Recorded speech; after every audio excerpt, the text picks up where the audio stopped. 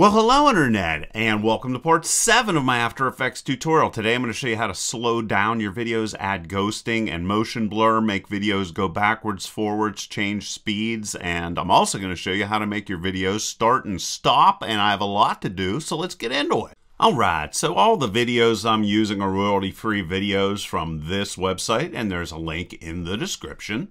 And I'm going to go and import some videos. So just come in here and import and file. And let's see what I want to go and get. I'm going to get electric waste. I am going to get cars, skate jump, and skateboarder table jump. And I'm not going to create compositions for these, and I am going to use them as footage. So just click on open. And here they all are. All right, so the first thing I'm going to show you is how to do motion stretching, which is going to allow us to slow as well as speed up our videos. I'm going to start with this skateboarder table jump that I have here. Just drag it down into our composition, and this is a really cool video. Oh, by the way, if you want to mute the sound, just come over here, click on this little speaker, and now it's muted. And here comes my video. So what I want to do is slow down that animation because it's really cool. Well, I'm going to need to first go and expand the in and out stretch panes. And everything works the same on Windows and Mac. It's right down here. So just click on that. And now you can see right here where it's going to allow us to stretch, which is the same as saying we want to speed up and slow down our video. Now, if you lower stretch below 100, it's going to go faster, and above makes your video slow down. So what I want to do is come in here and sort of figure out where I want it to start slowing down at. And I think right about here looks pretty good. Then what I'm going to do is I'm going to hold down either Command or Control with Shift and D. That's going to split that layer. And then I'm going to come forward here and decide when I want it to speed up again. So I'm going to say that right there looks good. So again, Command or Control, Shift, D, and that splits that layer again. Now this part, I'm going to select the beginning of our video, and I'm going to come into the stretch area. I'm just going to click on it, and I'm going to go and take this to 25 and click on OK. As you can see, it got shorter you can go and grab your other sequences here and hold down shift and they will snap in place and do that for all of them.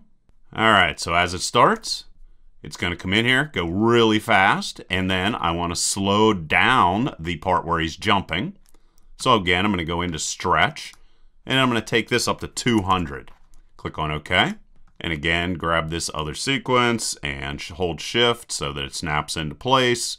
And then let's go and take that down to 25 as well. Like that, 25, and okay. So now let's come back and let's take a look at it. So it's going fast, and then right there, it slows down a lot. And you can play around with it to decide how slow you want it to be. Maybe we want to go and do something crazy, like make it 300. Boom, and then shift, drag in place, comes in, and then goes really slow and cool. All right, neat stuff. Now we could come in and do all kinds of other crazy different effects inside of here. Let's go and let's say I'm, not, I'm just going to pull up something that I think looks crazy. So I just typed in TV in the effects area and I got bad TV. Let's go and drag that on here. Drop it in and let's see what that looks like. And that's just going to sort of add like an effect to it. That's just, you know, like a goofy sort of line effect. And you can see it's rendering here. And this is a 4K video. That's the reason why it looks so clear. And there we go. And then we can bounce back and run it again. And there you can see pretty cool stuff. And there is one example of how we can go and speed up and slow down videos inside of After Effects. I'm going to go to my project area. I'm going to create a new composition. And this time I'm going to use the skate jump. So I'm just going to come in here, new composition. It's a 1080p video.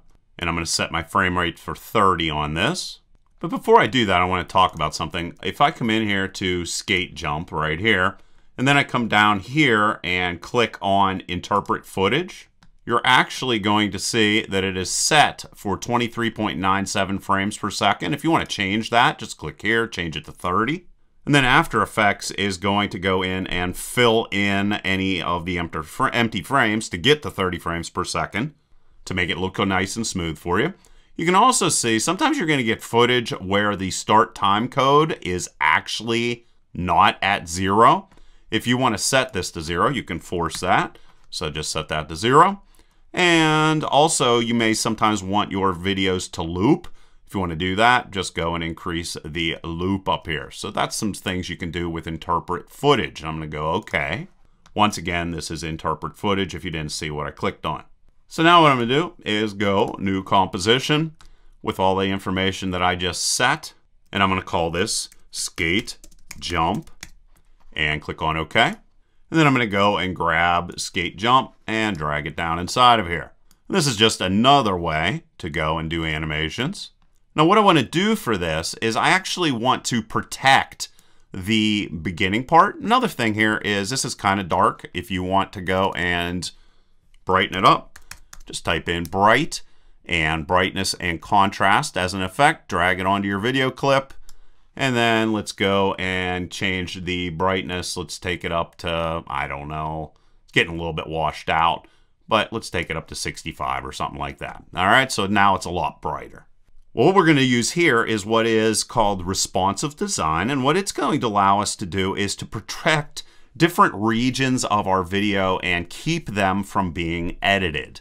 So what I'm going to do is I'm going to cycle through my video and I'm going to find out exactly where I want to start protecting this, which is going to be the jump. So let's say it's right about there.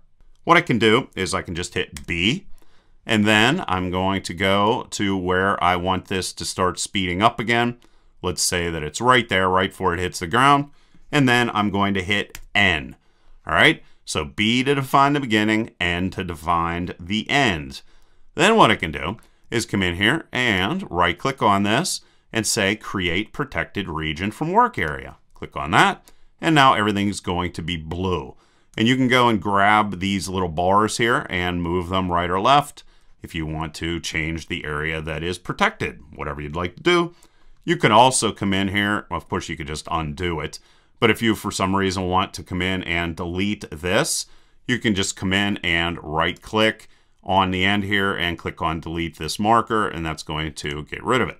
But I have that defined as a protected region inside of this composition, which is called skate jump. Now what I can do is come in here and create another one. So I'm going to say new composition and let's call this final skate jump. Looks good enough. Click on OK.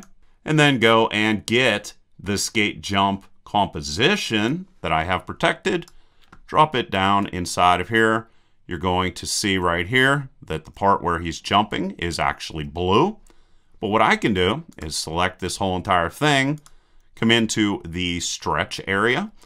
So let's take it inside of here and let's go 50 and let's come back to it again and play it and it is going to speed up going to the point where we are going to jump and then automatically when it gets to the jump area, it's going to look like it's going slower. All right, and of course we could come in and let's change this to 20 and click on OK. And again, it's going to come in and it's going to go much faster and then slow down again. So there is another way for you to be able to come in and increase the speed of and slow down the videos that you have. Another thing you might want to do is let's say you wanted to go through your videos frame by frame. You can hold down either control or command and then go right or left on your the arrow keys on your keyboard. So that's going to allow you to sort of like cycle through your videos right and left. And if we go back, let's say that I want, well, let's just do it with this one. Let's say we come in here to this guy right here, and we decide that we want to add in ghosting effects and blurs. Actually, let's go down to our original one. I liked it a little bit better. So let's come back into this one. And let's say that we want to come in and we want to add like a ghosting type of effect to it. We can go and select that. And then you can go right here. This is called frame blending. And if you go and click it once, it's going to give you a little bit of a sloppy type of ghosting effect. See? It's like a, you can sort of see through him. And I kind of actually like that one pr pretty good. See, there's like a ghosting effect being created there, which is really neat. And you can also add blurs to it. This guy right here is going to add motion blur. And you can play around with motion blur in different ways. So see, it sort of adds like a little bit of a neat effect on there. And there's another way of doing this. If you click it again, and this time it's actually going to be smooth and it's not going to have sort of like that ghost effect. But there's a little bit of it in there and it's mainly being accentuated by the fact that I also have motion blur on it. All right, so I just wanted to show you that also. And it's being jerky here because it's rendering the video as it's going through. So if we just go like this, you can see there it goes. All right, so just wanted to show you also different blending and ghosting and blurring effects that you can add really easily just by checking a checkbox. Let's come in and create another composition. So new composition, and this is all okay. So click on that and it's called comp one. I'm going to change the name to it. I'm going to change it to cars. And now I'm going to show you how to speed up, decrease, and do all kinds of other different things with different effects. All right, so we have cars selected here. Let's go and drag these cars down inside of here. All right, so here's some traffic, and I'm going to show you how to speed it up and slow it down and backwards and forward, make it go in reverse and all kinds of stuff using an effect. So that effect is called time warp so just type in time warp in your effect panel and let's come in here and drag it down inside of here. And I'm just going to leave most of this the same. I'm just going to be keyframing the speed here. And what it's doing is it's a percentage of frames that are going to be displayed is what you're actually going to be changing here. So let's just go and increase and decrease the number of frames that are being shown on your screen. How you can do that is just click on the little stopwatch here. Then if you come down inside of cars, well, first let's come up inside of here and let's change this to 100, which means that is the normal speed for the video is what that is. It's like a percentage type of thing. What we can do is come in and under effects and time warp, you can see here speed, and then you can just go and set different keyframes so let's go to like one, like that. There's the time code. Oh, another thing you can do is you can also show the frames instead of your time codes just by holding down either command or control and clicking on that. See, that's frames and that is your time. All right, 30 frames per second is how that works. All right, so what we want to do is we want to add a keyframe here. So just put that right there. And then let's go and let's increase this to say 700. All right, and then let's go and move ahead again. Two seconds, and let's go and slow it down or something. So let's go, whoops, go and put my keyframe inside of there. So let's go and slow this down, let's say to 50, like that. And then let's go and go in reverse. So I went to three seconds this time. And again, put another keyframe down inside of here. And I'm going to say negative 200, like that. And let's go and play it. So you can sort of see the weirdness that's here. All right, so it's going slow, and then it's going to start speeding up what's rendering right now. All right, rendering's done. It's going really fast, then it's going slow, then it's going in reverse. All right, it's going to continue doing that as long as it has frames to work with, and then it's going to continue going in the correct direction. All right, so there is another way for you to manipulate and work with different speeds with your videos. Now I'm going to show you how to make your videos start and stop. So I have this thing called electric waste. It was the only thing I could find on a conveyor belt. I wanted to use a conveyor belt for this. So I'm going to go new composition once again, and let's just let it be called comp one. Perfectly fine. Let's go and get my electric waste and drag it down here inside of there. Good stuff. And if you want to be able to start and stop your animations, you're going to need to enable time remapping. And to do that, you're going to right click on the name of your video here, go to time and say enable time remapping. All right, so now you're going to be able to do that. You can see time remap shows up down here. And now what I want to do is I'm just going to go forward. So let's say one second. And I'm going to add a keyframe. And I'm going to do this a whole bunch of times. So another uh, two seconds this time. And just keep on going. Three seconds. four seconds, and I'm just clicking on this little guy to make keyframes. Five seconds and six seconds. All right, and keyframe. So what I'm going to do is this is all perfectly fine. I'm not going to change this first key uh, keyframe here, but I'm going to go to the second one we have here, and you can see that that's at one second. Let's say I wanted to pause it. What I can do is go to this second keyframe right here, and let's set that to one second. And I'm just going to click here and drag it to one second. Jump to the next one that's right after this. This is at three seconds.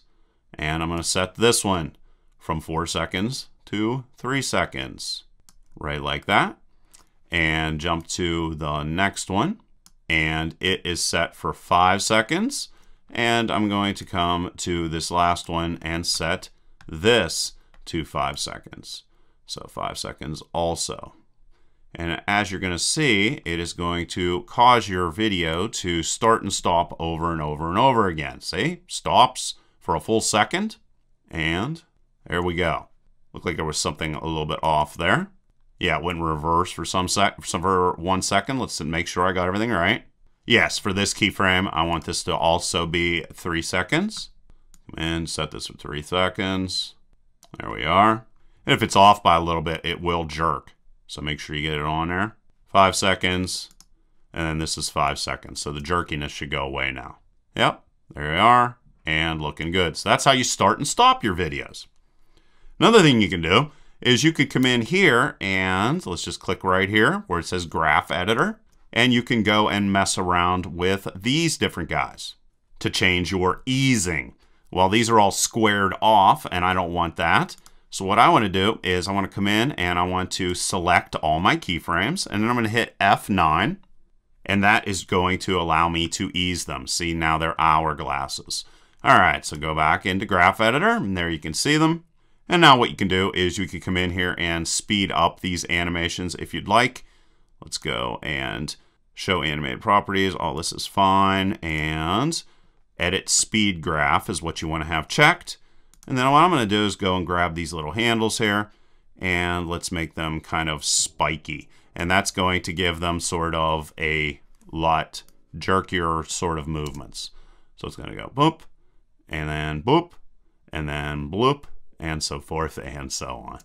So there you go, guys. There is numerous different ways to speed up, slow down, and mess around with your videos. Hopefully you found that useful. And like always, please leave your questions and comments down below. Otherwise, till next time.